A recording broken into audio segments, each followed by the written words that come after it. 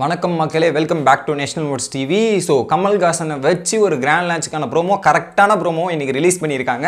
So ஒரு ஐப்பை create பண்ணல. So அந்த அளவுக்கு ஒரு பயங்கரமான ப்ரோமோவோட ரியாக்ஷனாக இருக்குது ஸோ பார்த்தீங்கன்னா அந்த ரெட் கலர் கோட் ஷூட் போட்டு அந்த ஸ்க்ரீனை ஓப்பன் பண்ணிட்டு கமல் சார் என்ட்ரி ஆகிறதே ஒரு பயங்கரமாக இருக்குங்க. ஸோ அந்த மாதிரி ஒரு என்ட்ரி ஆகிட்டு என்ன சொல்கிறாருன்னு பார்த்தீங்கன்னா ஒரு மூணு விஷயத்த வந்து சொல்கிறாரு அந்த இதில்.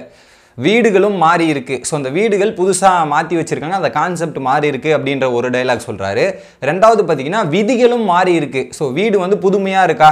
அடுத்தது விதிகள் மாறி இருக்கு அப்படின்ற டைலாக்கு விளையாட்டும் மாறப்போகுது அப்படின்ற மாதிரி இந்த மூணு டைலாக் சொல்லிட்டு இன்று இரவு ஆறு மணிக்கு அப்படின்ற மாதிரி ஒரு ப்ரோமோ அதுக்கப்புறம் அதுக்கு பின்னாடி டான்ஸ் பர்ஃபார்மன்ஸ் இதெல்லாம் ஒரு பக்கம் ஓடுது. பட் அவர் சொன்ன டைலாக்ல இருந்தே நம்ம கண்டறி எடுத்தோன்னா மூணு டைலாக்கா ஸோ வீடு புதுசாக இருக்குன்னு வந்து இந்த டபுள் ஹவுஸ் கான்செப்ட்டு ஸோ அந்த ஹவுஸை பார்த்தீங்கன்னா ரெண்டு தனி வீடுன்னு நினச்சிட்டு இருந்தீங்கன்னா அது இல்லை. ஒரே வீடை ரெண்டாக பிரிச்சிருக்காங்கன்றது தான் தகவல். ஸோ ரெண்டு பார்ட்டிஷனாக ஸோ ஒரு வீடை சென்டராக டிவைட் பண்ணால் எப்படி இருக்குமோ அந்த மாதிரி தான் ரெண்டாக டிவைட் பண்ணி வச்சுருக்காங்க. பட் அந்த வீட்டில் எப்படி கண்டஸ்டன்ஸை பிரிக்க போகிறாங்கன்றது ஒரு கேள்விக்குறி நமக்கு.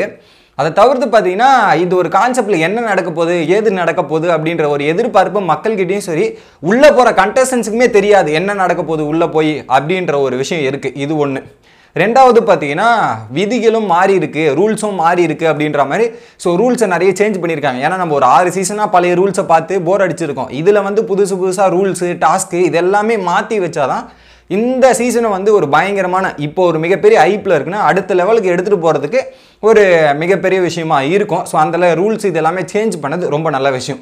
ஃபார் எக்ஸாம்பிள் தெலுங்கில் உல்டா புல்டான்னு சொல்லிட்டு பயங்கரமாக ரூல்ஸ் எல்லாம் மாற்றி கேம் கம்ப்ளீட்டாக அந்த கேமே ஆறு சீசனில் நடந்தது இந்த சீசனில் நடக்காத மாதிரி கம்ப்ளீட் ஷிஃப்ட் பண்ணி இம்யூனிட்டி பவர் பவர் அஸ்திரம் அந்த மாதிரி தெலுங்கில் போயிட்டு இருக்கு ஸோ வேற லெவலாக தெலுங்குலையும் போயிட்டு இருக்கு ஸோ அதை விட டபுள் மடங்கா ட்ரிபிள் மடங்கா தமிழ் இருக்கும்னு நான் நினைக்கிறேன்.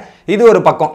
இன்னொரு பக்கம் பார்த்தீங்கன்னா கேம் ஸோ இந்த கேமோட பிளான் பண்ணி எல்லா கண்டஸ்டன்ஸும் வீட்டுக்குள்ளே வரும்போதே ப்ரிப்பேர் பண்ணி வருவாங்க. நம்ம இப்படி இருக்க போகிறோம் இதுவாக இருக்க போகிறோன்ற மாதிரி எல்லாம் ப்ரிப்பேர் பண்ணி வருவாங்கள்ல பட் அந்த ப்ரிப்பரேஷனே வந்து இங்கே ஒரு இதுவாயிரும். ஸோ அவங்க என்ன தான் ப்ரிப்பேர் பண்ணி வந்தாலும் இங்கே ஒன்றும் பண்ண முடியாதுன்ற மாதிரி கான்செப்டில் வச்சுருப்பாங்க. ஏன்னா வீடு மாற்றிட்டாங்க ரெண்டாவது ரூல்ஸ் அண்ட் ரெகுலேஷன் புதுசாக பண்ணிட்டாங்க. இப்போ நீங்கள் ஆறு சீசன் பார்த்துட்டு வந்தால் ஸோ மே மைண்ட் வைஸ் கொஞ்சம் இப்படிலாம் நடக்கிறதுக்கான வாய்ப்பு இருக்குன்றது தெரியும். பட் என்ன நடக்க போது ஏது நடக்க போது இந்த சீசனை பொறுத்த வரையும் எந்த கண்டஸ்டன்ஸாலுமே ப்ரிடிக்ட் பண்ண முடியாது.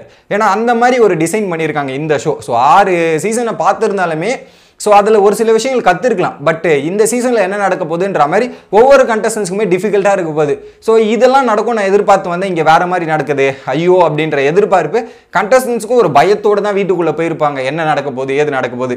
ஏன்னா டபுள் வீடு கான்செப்ட் ரூல்ஸ் மாறி இருக்குது எல்லாமே மாறி இருக்கும்போது அந்த கண்டஸ்டன்ஸாக உள்ளே இருக்கவங்களுக்கே ரொம்ப டஃப்பாக இருக்க போது அந்த டிஃபிகல்ட் சுச்சுவேஷன்லாம் ஹேண்டில் பண்ணி எப்படி ஒவ்வொருத்தரும் வெளியே வர போகிறாங்க அப்படின்றத வெயிட் பண்ணி பார்க்கணும். நான் ரொம்ப ஆவலாக இந்த சீசன்ஸ் செவனோட கிராண்ட் லாட்சி காத்திருக்கேன். நீங்கள் என்ன நினைக்கிறீங்க அப்படின்றத கமெண்ட் பண்ணுங்கள் வீடியோ பிடிச்சிருந்தா ஒரு லைக் பண்ணுங்கள்